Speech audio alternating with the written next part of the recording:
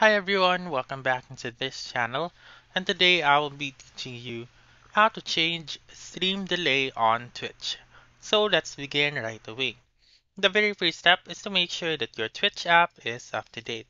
If not, please go to the App Store or the Google Play Store and make sure to update the Twitch app. So just like this one, you just simply open your App Store or Google Play Store, open Twitch, and then make sure that the button right here says open or launch and not update.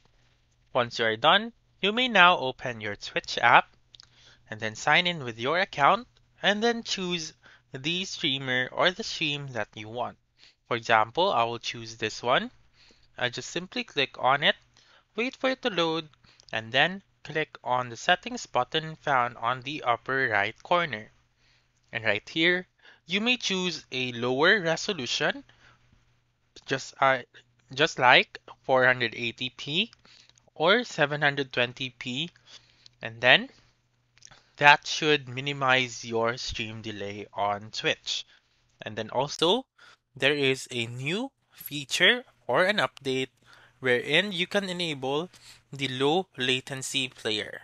So you just simply enable it and then you should experience a little to no delay of your favorite stream. So that's it. That's how you can change stream delay on Twitch. So that's all for this video. Let me know in the comments section if this works out for you.